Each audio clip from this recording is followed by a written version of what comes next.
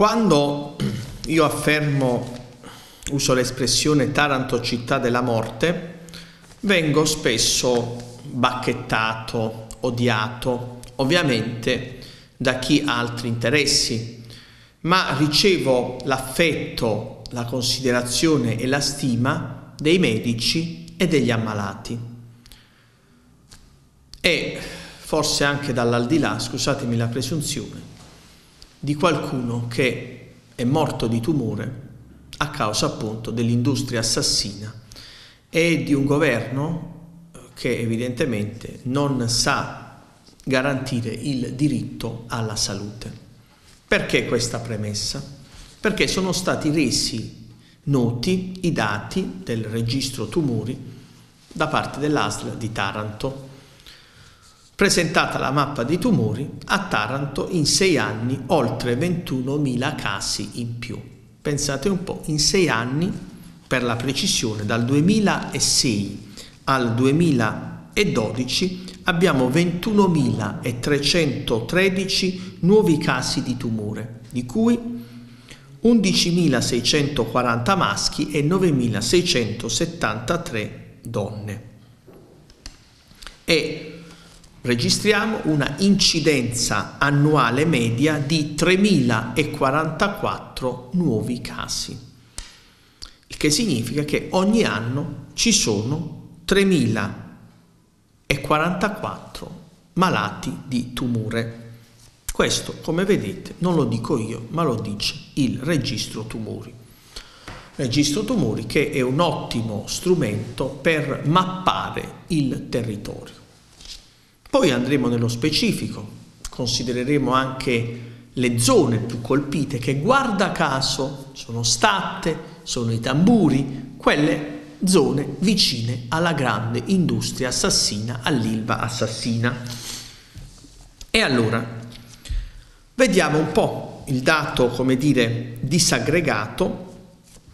Negli uomini i cinque tumori più frequenti sono nell'ordine polmone, prostata, vescica, colon retto e fegato. Da considerare anche il mesotelioma della pleura, che pur con i suoi soli 20 casi all'anno, essendo un tumore raro nelle altre aree regionali e nazionali, nazionali raggiunge quindi nei maschi eccessi del 300-400%. Taranto ha anche questo primato triste, atroce primato per quanto riguarda il mesotelioma. Mentre nelle donne le prime cinque neoplasie maligne sono alla mammella, al colon retto, alla tiroide, al capo dell'utero e al polmone. Questi, questa, signori cari, è Taranto.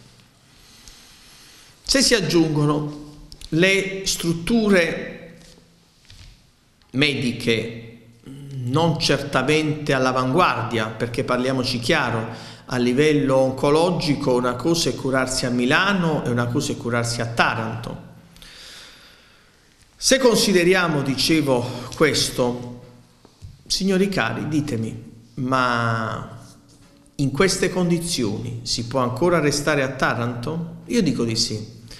E dico di sì però a una condizione, chiudendo l'Ilva, quell'Ilva assassina, e tappando la bocca in senso metaforico, ovviamente, eh, cercando di buttare via quella classe politica, quel governo marcio che sta impestando Taranto, che ha impestato Taranto con 12 decreti salva Ilva ed ammazza Taranto. E questi, signori cari, sono i risultati.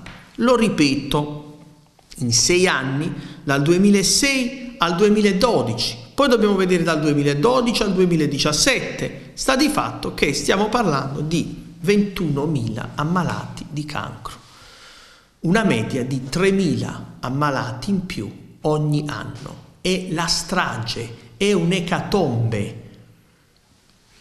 Connesso all'ILVA, connesso all'ILVA. E ora vi dirò anche perché. Comunque andiamo avanti. Negli uomini sono stati fotografati eccessi di incidenza nella città per tutti i tumori e per quindi questi eccessi riguardano per l'uomo il fegato, il pancreas, il polmone, il rene, le vie urinarie e appunto il mesotelioma pleurico. Per la donna eccessi di tumore per stomaco, fegato, polmone, melanomi cutanei e mammella. Anche le malattie cardiache hanno un loro picco, almeno stando ai ricoveri, nelle zone di Taranto e Statte, quindi, e a Taranto parlo dei, um, dei quartieri più vicini all'Ilva. Eh, evidentemente è stato anche detto c'è una connessione tra eh, problematiche cardiologiche e appunto, ehm, e appunto ehm, inquinamento, inquinamento industriale. Le malattie dell'apparato respiratorio invece presentano picchi di rischio di ricovero e mortalità prevalentemente a Taranto e nei quartieri vicini al polo industriale. Mi sembra evidente, mi sembra la scoperta dell'acqua calda e ancora, sempre patologie respiratorie, le broncopatie cronico-ostruttive, BCO leggiamo, presentano criticità in termini di eccesso di mortalità in molti comuni del centro e dell'ala orientale della provincia con eccessi a Taranto del 23% e a Stat del 27%, dove c'è appunto l'Ilva. Vogliamo andare avanti?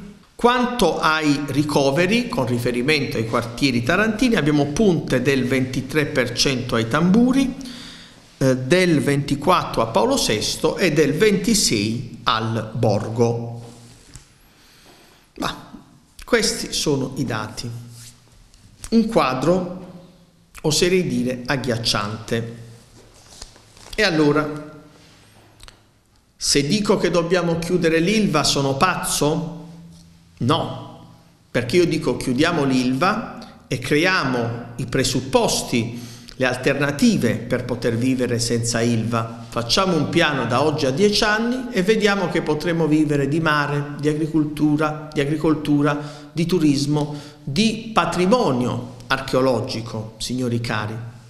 E poi smettiamola con questa continua barzelletta, con questa favola, l'ecocompatibilità, coniugare l'ambiente e il lavoro, ma lo avete visto o no? Che stiamo parlando, stiamo parlando di 12 decreti salva Ilva che non hanno ottenuto alcunché, basta vedere le emissioni industriali, basta vedere le fotografie, basta vedere gli slopping, quando vedete quelle, eh, quelle, quelle nuvole eh, rosse appunto e, e, il polverino, lo dico il minerale, lo dico in termini volgari, che si, si solleva.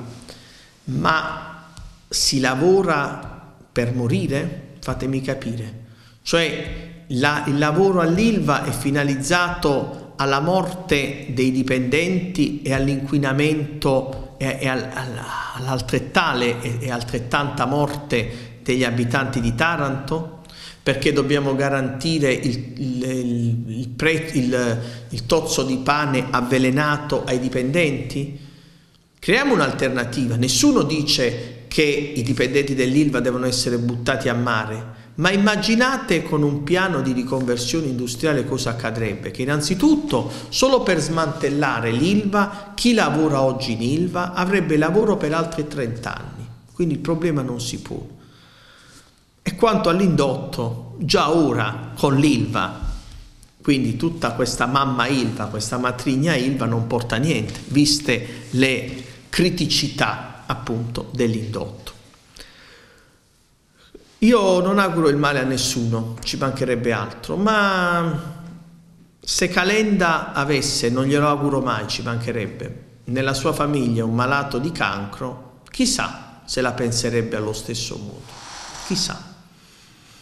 Questo governo se ne frega, in nome della produzione, solo in nome della produzione. In nome della produzione si può anche uccidere. E questo lo consente questo governo e lo consente il partito di maggioranza chiamato Partito Democratico. Io lo chiamo PD anche in un altro senso, Partito della Diossina.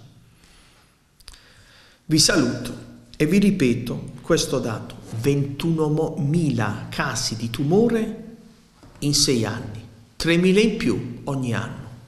Chiudiamo, chiudiamola questa fabbrica, uccidiamo il mostro una volta per tutte.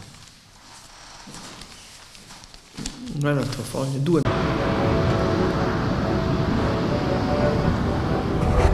Senza bavaglio, informazione libera, sempre.